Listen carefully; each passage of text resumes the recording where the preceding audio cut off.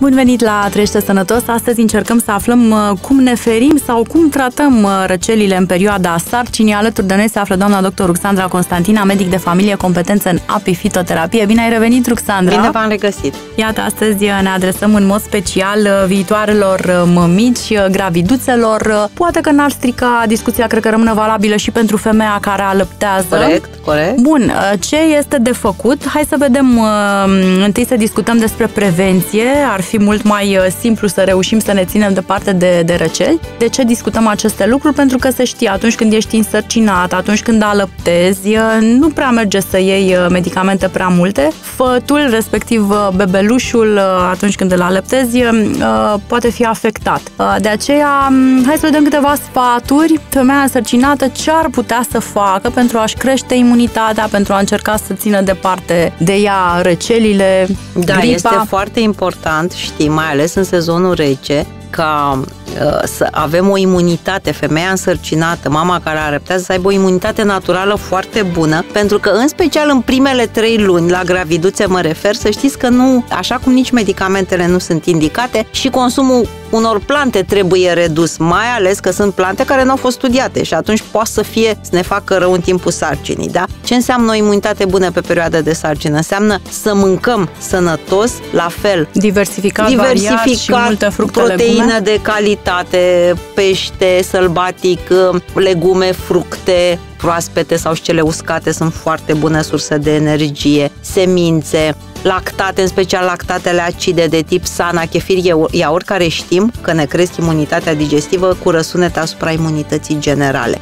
hidratare corectă, sucuri naturale, dar nu în cantitate foarte mare, atenție, pentru că în grașă le diluăm cu apă sucurile cu citri, de citrice, sunt foarte bune, îndulcite ușor cu miere naturală, da? Niște ceaiuri, ceaiuri din fructe de pădure, din fructe exotice, de mere, pere, nu toate ceaiurile merg în sarcină. Acestea de fructe merg. Vreau să vă atrag atenția și ceaiurile luați-le de la firme de încredere și să fie naturale. Pentru că dacă veți citi, multe ceaiuri, în special cele la pliculețe, conțin aroma, arome. Arome de. Deci de, nu mai sunt Care nu naturale. sunt arome naturale. Și Atenție, bei și stabilizatori. Bine, exact, exact.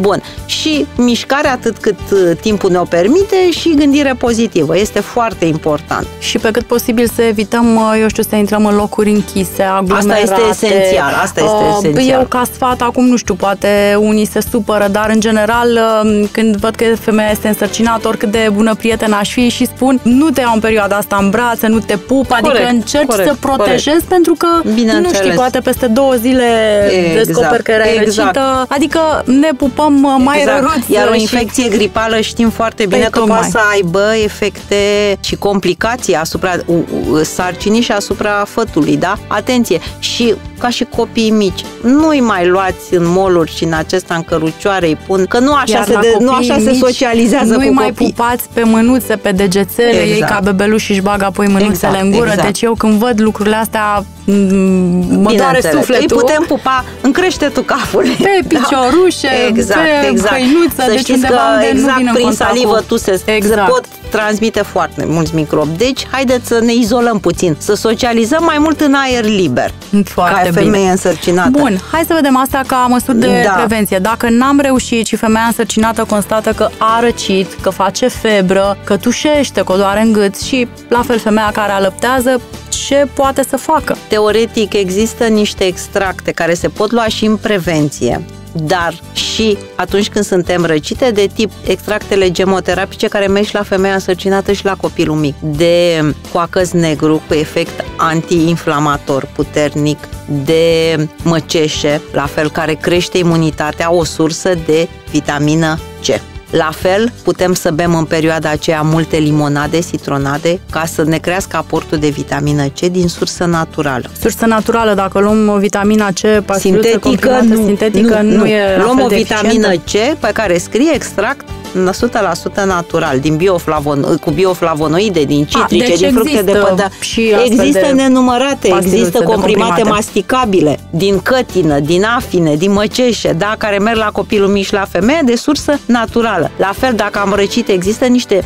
siropele special făcute pentru perioada de sarcină, le avem pe piață, care conțin extracte de echinacea, de muguri de brad, de pin, ulei esențial care ar merge de scorțișoară, de eucalipt, și toate acestea acționează ca niște antibiotice naturale și în același timp cresc și imunitatea nespecifică a organismului. Fără a afecta fătul. Fără a afecta fătul. Dacă tușim, există sirop, la fel cu extracte din muguri de brad, de pin, cu pătlagină și miere. Da? Deci avem tot felul. Este foarte important, le atrag atenția viitoarelor mămici. Citiți pentru că orice firmă care se respectă ar trebui să scrie este contraindicat în sarcină. Am avut foarte multe mămici care mi-au spus am fost la farmacie și am cerut ceva de... și mi-a dat sau chiar un medic care nu are nicio competență pe apifitoterapie. Le-a dat niște siropuri sau niște ceaiuri care nu merg în sarcină, cum este ceaiul de busuioc. Nu merge în sarcină, altfel este excelent în răcel și pentru creșterea imunității. Bun, deci da? mare grijă. Sfaturile exact. rămân valabile și pentru femeia care a născut și alăptează absolut, și copilul absolut. are câteva Atunci, sigur, nu este luni. risc de avort, dar există risc ca, de exemplu,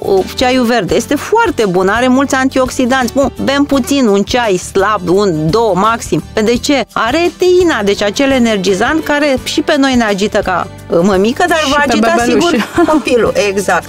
Bun, nu... deci iată, mare grijă, Sigur. trebuie să fim atenți chiar și atunci când consumăm plante, pentru că și ele au efectul lor, iar în perioada de sarcină, în perioada în care femeia alăptează, apoi uh, Exact, și există produse special destinate femeilor gravide și atunci este foarte bine. Putem lua, să ne facem un masaj ușor cu un ulei de migdale, de germen de grâu, de cocos, în care am adăugat una, două picături de ulei de portocal, de trandafir și atunci ușor, o, o frecție ușoară la nivelul, nu pe abdomen și pe sân, la nivelul pieptului, pe mâini, ne poate ajuta. Dar mă gândeam acum la așa zisele lacuri uh, Băbeș Luxandra, dacă femeia sărcinată face febră, ajută uh, șosetele muiate în oțet, uh, compresele, eu știu, calde, reci, dușurile acelea e, Nu știu, ajută? acum știți cum e cu compresele înmuiate în oțet sau în alcool, cu atât a, mai în alcool nu, cam că se poate exact, de dar să știți, pielea. exact, exact, dar există și uh, niște soluții gata preparate cu leiuri esențiale, dar care merg în perioada de sarcină, cu care putem să facem un ușor masaj cu acel efect decongestionant, da? Altfel, atenție, nu m-aș hazarda să fac tot felul de experimente pe femeia însărcinată. Bun, mulțumim uh, pentru sfaturi, te așteptăm plăcere. să revii. Rămâi cu noi la Trește Sănătos pentru că avem multe să-ți povestim și să învățăm împreună.